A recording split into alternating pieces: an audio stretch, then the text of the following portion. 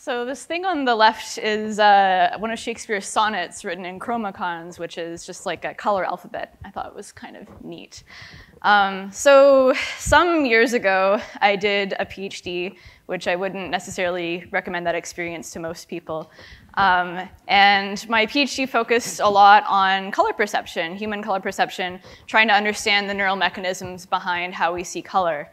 Um, and don't ask me about it, I don't remember pretty much anything about that experience. I've kind of blocked it out of my mind. But I then made a transition from academia into UX research, um, and my world started to look a lot more like this. And over the years, I've been able to work with a bunch of different companies and have a lot of really good experiences. And I found that at the beginning, especially um, because I was new to the field, I was doing a lot of reading of UX and marketing and design blog posts and articles and, and other things like that. And I was kind of appalled because I was seeing a lot of stuff that looked like this um, about color. Maybe you guys have seen this sort of thing before. It's like cute stuff that people like to share on Twitter and, and whatnot. There's a whole bunch of things going on here. Uh, like, for example, I really like, did you know every color has a meaning and a feeling, which, like, does it? uh, or green is the easiest color for the eyes to process, which I don't even know what that could possibly mean. Um, it's definitely BS. Uh, I was seeing a lot of really like kind of provocative things like this, and it was really, really making me annoyed. I was not a big fan of, of this sort of stuff. Um, and so um, what I wanted to do today was talk a bit about the pop psychology of color um, because I feel like a lot of what we are seeing in UX and design and marketing publications about color really is this kind of pop psychology that has little or no basis in actual science, um, or it completely misinterprets it um, if there is some science behind it. Um, and so it's really important because, I mean, I think to me, we rely on color for a lot of things in design. Um, it's a really important tool in our toolbox, right? We rely on color to um, convey meaning, for example. Uh, like here's a, a, London tube map, and um, you know they're using different colors to, um, to denote the different lines in the tube. Um, we use color to attract attention and communicate priority. So here's a bad example of that. So this is George R. R. Martin's website. It's actually not the current website. It's a little bit better now. But you can see here that uh, there's not really a, good job being done of using color to kind of show you where you should be looking and where you should be clicking and that sort of thing. Um, so we rely, on color quite a lot to kind of um, attract people's attention to different parts of an interface. Um, and also to elicit associations. So, you know, we've seen a lot of red stop signs in our lives, and so we've kind of come to associate um, red with the idea of stopping. Um, and probably we expect to see something more like the picture on the top than the picture on the bottom. And of course, color looks nice, and we use it for that reason as well. Um, but basically, just color is a really important thing, and I think that it's really um, a good idea as designers and, and, researchers and other UX people to kind of understand a little bit about what kind of what color is and, um, and kind of how to use it in maybe more scientifically grounded ways than you typically see um, on blog posts these days. Um, so today we're going to bust four color myths, four if we have time, three for sure. Hopefully we'll get through all four. Um, and hopefully this will be probably more of a, a, fun talk than a practical talk, but there will be a few um, takeaways as well. Um, okay, so getting down to the first one. Um, so the first is that color is a physical phenomenon. It's something that exists out in the world. Um, it's kind of like a universal truth or property of an object. Like when I point at that pink uh, box thing over there, like that is a property of that box. That's a, its color. It, it wouldn't change. It's something that belongs to that box. Um, this may be something you, you, know, you are familiar with or do or don't believe. Um, but today um, we're going to kind of talk about why that's not really the case. Um, so you might be familiar with the, the phrase or the saying, if a tree falls in the forest and there's no one around to hear it, does it make a sound? Um, and the idea here is that if a tree falls in the forest, it creates um, these waves that travel through the air, and it's not until there's a perceiver or a receiver on the other end, um, an ear basically, and a brain, um, does the sound, like the kind of sensation of sound, actually take place. And so if, if there's no perceiver, there is no sound. Um, and what I would suggest is that if a tree falls in the forest and there's nobody around to see it, does it make a color? Um, the same sort of idea. Um, without having a perceiver on the other end, there is no color that's just kind of there existing out in the world. And this might be a little bit hard to, to wrap your mind around or hard to think about. Um, yeah, so I think that, you know, in general, the idea I want to get across is that color is a mental phenomenon. It exists only in our brains. Um, and I know what you guys are thinking, like we've been taught in science class, right? There's like this electromagnetic spectrum, and there's a sliver of it that's the visible light portion of it, and there's this kind of rainbow of colors that exists in there. And we, when we look at light, those colors are kind of coming to our eyes. We shine a light through a prism, the rainbow comes out, right? And um, we kind of get this idea that, um, you know, there's Roy G. Biv, red, orange, yellow, green, blue, indigo, violet. These are the colors that make up light. Um, but unfortunately, we've all been taught lies. This is not, not true at all. so color appearance is not just light wavelength. It's not just that physical stimulus. Um, so here's kind of like a, you know that, that rainbow, I guess, and those numbers on the bottom are different wavelengths of light, basically. Um, and what I want to do today, I guess, first is kind of walk through some neat illusions that demonstrate a few things. One, that two identical wavelengths can appear different. Um, so two physically identical stimuli can appear different. Um, two different wavelengths can appear identical. Um, and two different people can interpret the same identical wavelength differently. Okay, so the first one. So this, I've got Hello, UX New Zealand 2019. Um, the first, the top two are written in greenish color and the bottom two are in orangish color. This is not the illusion yet. Uh, and so if I put a, you know, some context or some background there, you might see a bit of a difference between like the Hello and the UX and the New Zealand and the 2019, maybe a little bit. Um, but what, what I can do is layer on more context and really change the color appearance quite a lot, right? I saw a couple of people do this, so it means it worked. Okay, good. And I've just, this is literally made in Keynote. Like there's nothing fancy going on here. These are just like yellow and purple bars either overlaid or underlaid over those words, and it changes the color appearance dramatically. And the light that's coming to your eyes from those, you know, those bluish and greenish looking portions of those words is actually identical, um, and it's the same as what was coming to your eyes before, but it obviously looks very different now. And I can kind of try to prove it to you by connecting um, the, you know, the, the bars, I guess, to show it really is the exact same thing. Um, so yeah, so here is a situation um, where uh, two identical wavelengths, they're identical physical stimuli, look very different to us. Okay, so what I want you to do is to stare at the cross in the center of the screen here um, for a few seconds. Um, and I'm gonna, in a, in a sec, flip it over to a different slide. So keep staring at that cross. And if I flip it over, maybe you saw a color illusion? Maybe a little bit. Let's try it one more time. I'll put up for longer. It's kind of hard. Sometimes the lighting is a little bit too bright in here maybe, but just kind of keep staring at that, that cross in the center. And what should happen is when I flip over to the next image, it'll be a black and white image, but it should look colorful to you at least for a couple of seconds. Oh, that was better. Oh, good. That's the reaction I wanted, yeah.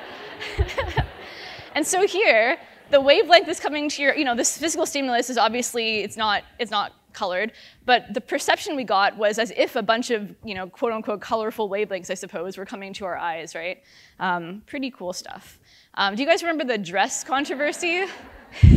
I also had to work Broad City into the presentation for sure.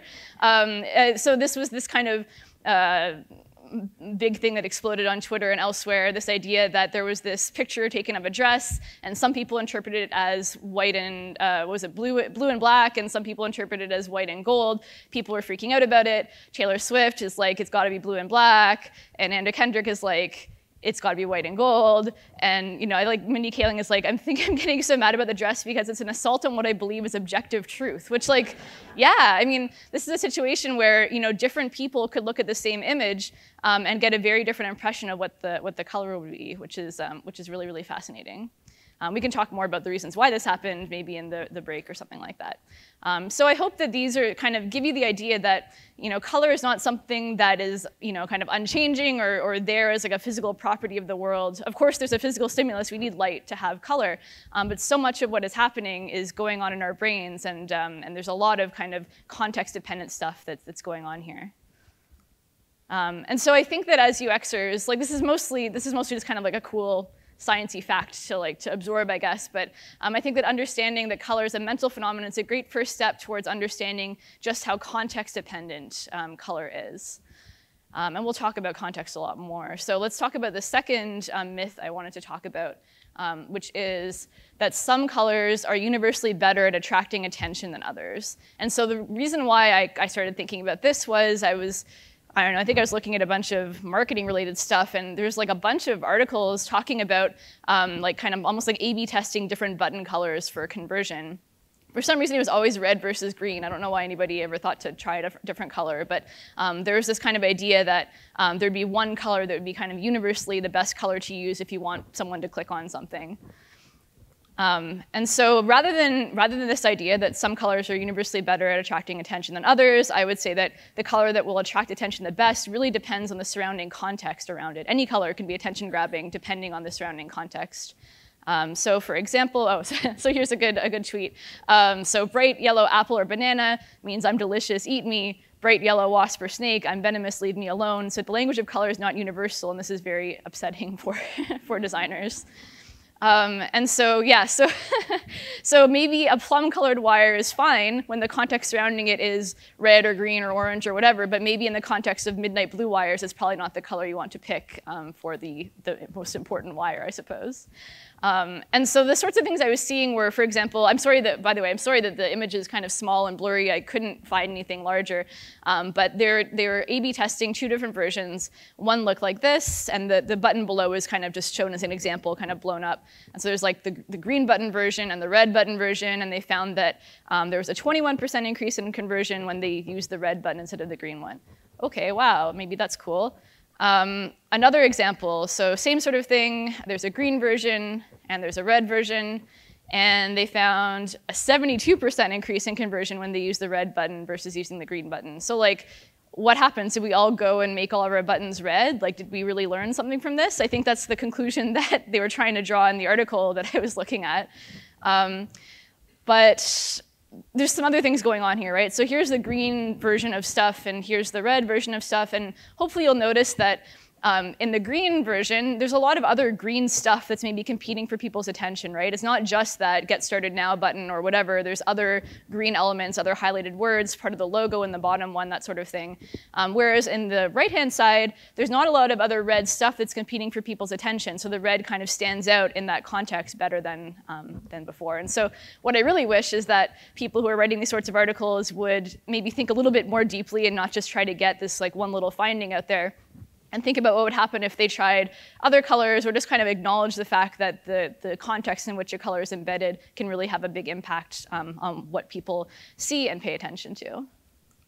Um, so for example, if you're, you know, if you're making a website for a basketball team and they're like the green team, uh, you probably would be okay using a red button. That would probably be great. But if it was a red colored team, maybe a green button would be way better than using a red button. There's no universal hard and fast rules here. Um, so it's not that there's some colors that are better at attracting attention than others. It's really a context dependent sort of thing. And so I guess, you know, in general, when we choose colors, especially ones to attract attention, we want to make sure we consider how they look when they're embedded in the surrounding context. Okay, the third myth. Let's see what this one is. Ah, yeah, okay, this, this kind of goes back to uh, all that crazy, you know, claims and stuff I was throwing at you on the second or third slide. So a lot of colors are scientifically proven to elicit specific behavioral or, I guess, emotional um, responses. Um, and so I mean things like this. The one on the right I see all the time. I feel like it's being tweeted all the time. I love the one on the left. What color emotion does your front door evoke? Like, what does that even mean? um, and this color emotion guide on the right. Um, and so this sort of stuff, like, is this really a thing? Are things really happening here?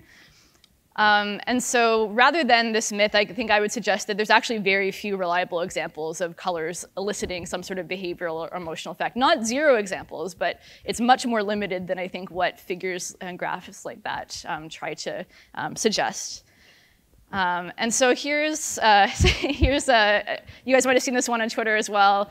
Um, and so it's a children's hospital and they painted a, a path on the floor in red and uh, the person below is like, literally any other color would have been a better choice, guys, which I think is a good, a good comment. But it caused a bit of a, you know, people were arguing about this. You know, someone posts something kind of like the sort of stuff I was showing in the previous slide, like, no, no, red's got all these really positive associations. You know, I'd like to point out that the color red has more positive than negative meanings, which, okay, does the number of different meanings matter here? I'm not really sure.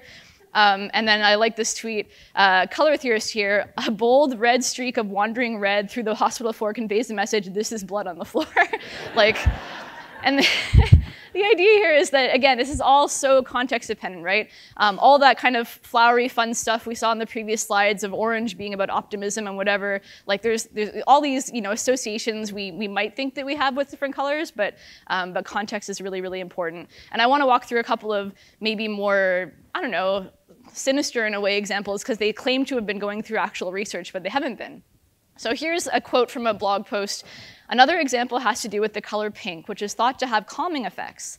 According to research published in the Journal of Orthomolecular Psychiatry, scientists discovered that when a person sees pink, it slows people's endocrine systems and relaxes tense muscles. In other words, pink is associated with the idea of relief okay, that sounds interesting, maybe. Um, they actually linked to the research, which is really cool. So I clicked the link, and I found out that that's not what the research said at all. Um, they basically had people um, look at, at, different colors. They were measuring blood pressure, pulse rate, grip strength, all this stuff that they're talking about kind of associated with relief somehow, monitored all these different things, and they basically found no significant differences at all. The only difference they found was in a cognitive test, and they, they actually figured out that the, the difference they found was due to a practice effect of people not getting the right counterbalancing of, of the different conditions. So basically, all the different things that are being claimed in this blog post um, are not true.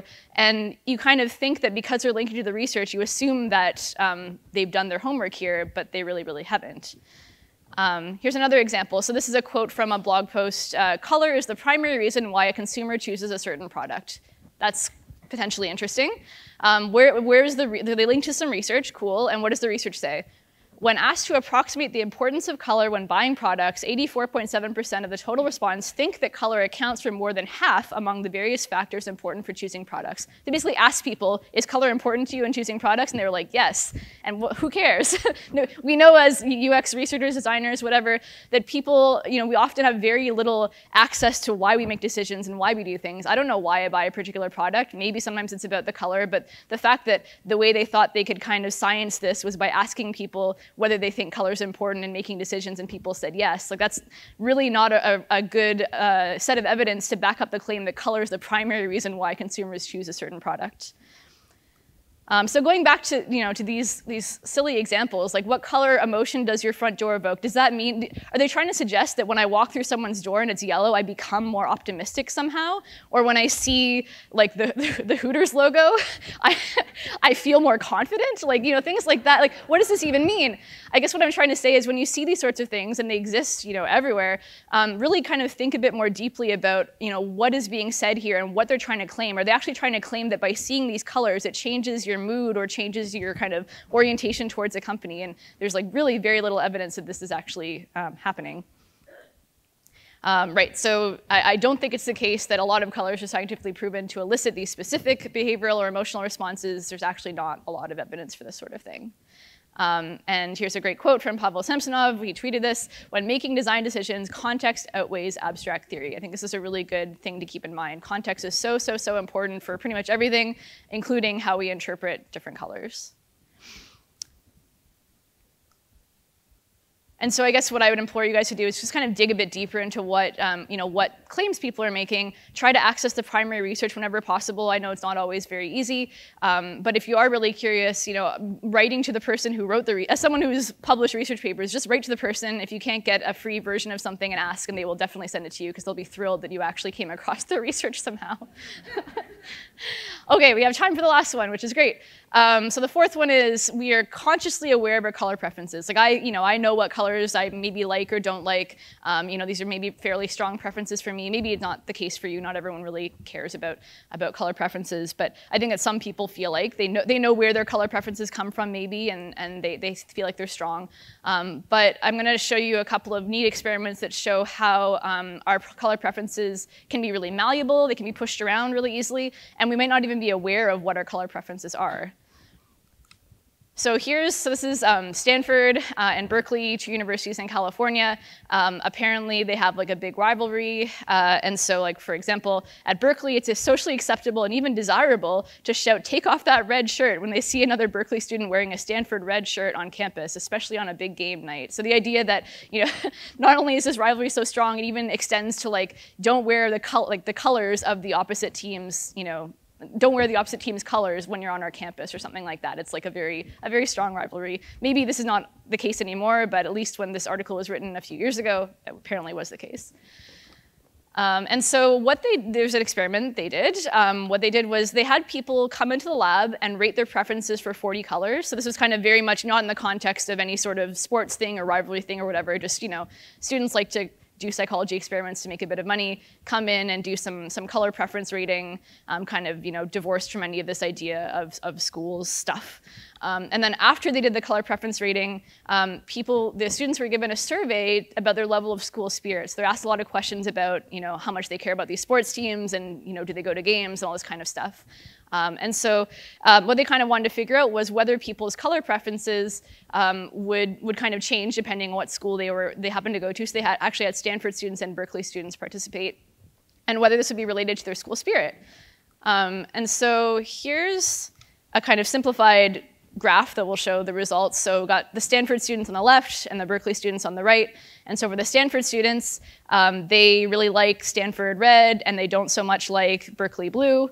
Um, and then for the Berkeley students, they don't so much like Stanford Red, but they do really like Berkeley Blue. And they actually, the students had no idea, that, you know, the kind of debrief students after, they had no idea this was at all related to anything school spirit stuff. They, they didn't have a reason to say why they had these color preferences.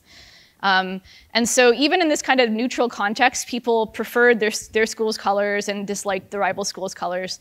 Um, and then what was interesting is the effect was greatest for the people who were most emotionally invested in the rivalry. So the people who um, really did care about their teams or whatever had these strong preference differences, um, even though they didn't recognize that the experiment was all related to that sort of thing, um, which is really, really neat. So maybe just kind of exposure, familiarity, or whatever to a certain color could drive color preferences, even if you have no idea why that's, that's the case. And then probably a kind of a weirder example, so pushing around people's color preferences um, kind of a, on a short-term basis. So this is an experiment where um, participants came into the lab and they would be sitting in front of a computer and on the computer would be just a computer screen and they'd see a color and then for maybe one second they'd see like yellow and it would go away and they'd see you know, kind of magenta color, then pink and so on. So they just sit in front of a computer for like I don't know, half an hour or something like that, just seeing colors presented at them one after another, probably kind of boring. Um, and so after they, they did this for quite a long period of time, um, oh, sorry, I should mention that one thing that this, the participants did not know is that there was a special ordering of these colors. So they seemed maybe random to people, um, but there was actually an order. So for example, yellow, magenta, and pink were always presented one after another, um, and green, blue, and gold were always presented one after another, and so on. Um, and so over time, they were only seeing one color at a time. They didn't know that these were sort of grouped in these little triplets that were repeating over and over again. Um, and what was interesting was at the end of the study, they, they showed people kind of all at once these different triplets. So now they're actually showing those three colors together and the other three colors together. And one of those triplets would be one they actually saw in the study, kind of, and the other would be one they, they never would have seen before. And people greatly preferred the ones they had seen in the study, uh, even though they had no idea why. You could ask them why they liked that grouping of colors better than the other one, and they could not say why it was why they liked it better. Um, and so here's a situation where all it took was maybe like half an hour or an hour or something of being shown some colors in the lab, and their brains are just kind of taking in this information and creating color preferences that are really not tied to you know, any kind of conscious awareness or anything that's really based in, um, in, in reality. So I think that, I mean, of course we can be consciously aware. I, I, you know what, this is actually too strong. We can be consciously aware of our color preferences. I know I like blue and I like green and whatnot, um, but that's not the only kind of situation. There are probably situations in which um, we, our color preferences have been pushed around and they're not really things we're aware of anymore. Um, and I think that's the kind of more interesting piece of this. Okay, so to sum up, so color is a mental phenomenon, not a physical one. This is the hardest thing to kind of absorb. Um, but wavelength, you know, the physical stimulus, you need, you need light, but that's only one potential factor in color appearance. There's so much other stuff going on in our brains besides um, looking at a light. And when you're picking color to uh, attract attention, it's not like there's a universal truth. It's not like you always have to pick red or green or whatever. You really want to keep in mind the context of, um, of what you're embedding that color into. There's a lot of associations between colors and concepts or emotions, um, and they're cited really frequently in the literature, um, but the actual evidence is really lacking, um, and you really need to kind of dig deeper um, beyond just the blog post level or the podcast level to figure out what's actually going on here. And then finally, color preferences are malleable, they're unconscious, and I think they're pretty fascinating. Um, and so I hope that I hope that you guys think so too now. Thank you.